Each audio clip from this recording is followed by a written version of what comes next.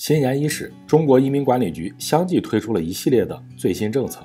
极大程度地简化了外籍华人的回国程序，可以说是给广大海外同胞送上了一份大礼。此外，最新的2024年全球护照排行出炉，中国护照排名稳步上升，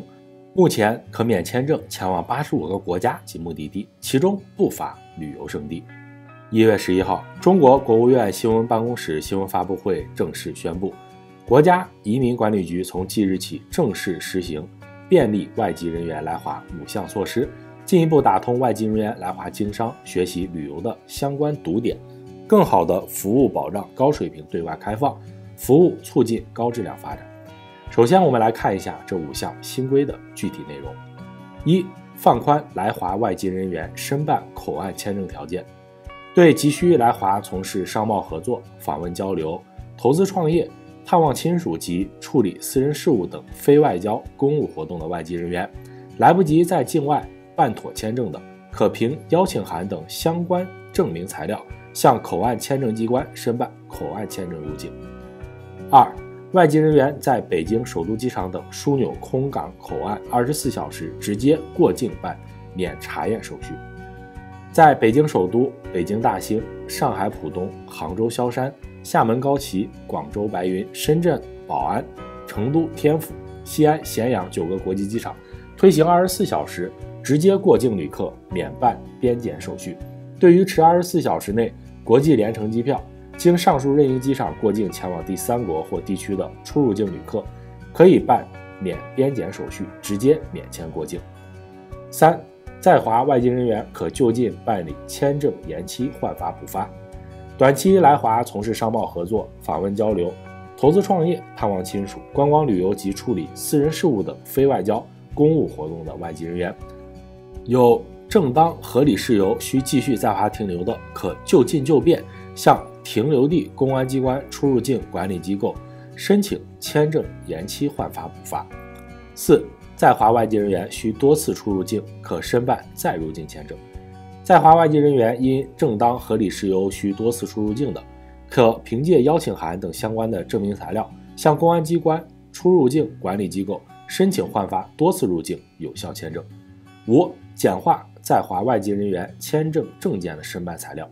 外籍人员申办签证证件时，通过对于信息共享可查询到本人住宿登记记录、企业营业执照等信息的，可免予查验相关纸质证明材料。在华外籍人员办理亲属短期探亲团聚类签证的，可以邀请人亲属关系声明代替亲属关系证明。纵观五项新规，可以说是每条都在直接明了的给海外华人们提供便利。疫情期间无法拿到赴华签证回国探亲，错失重要时刻的遗憾，恐怕未来永远不会再出现。除此之外，手握中国护照的中国公民也在2024年迎来了好消息。总部位于伦敦的全球公民和居住咨询公司亨利 and Partners 发布了2024年1月的亨利护照指数。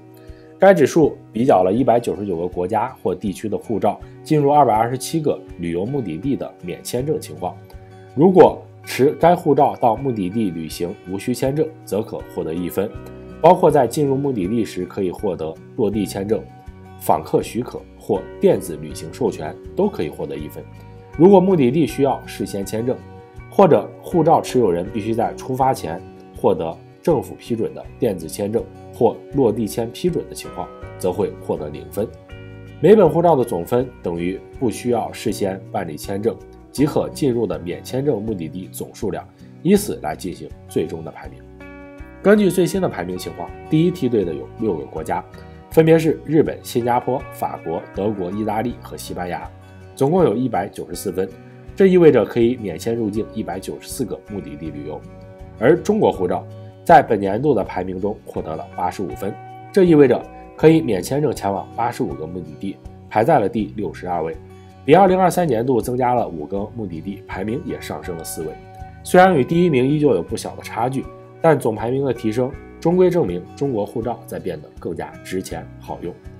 并且在八十五个免签目的地中，不乏马来西亚、马尔代夫、毛里求斯这些热门旅游胜地。美国与加拿大护照实力依旧强劲，拥有一百八十八个免签入境目的地，并列排名全球第七位。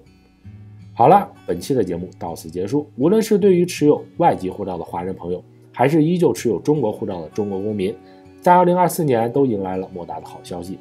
小伙伴们有没有想好今年去哪儿玩呢？如果您喜欢本期视频请关注点赞并分享下载 app 解锁更多功能。我们下期再见哦。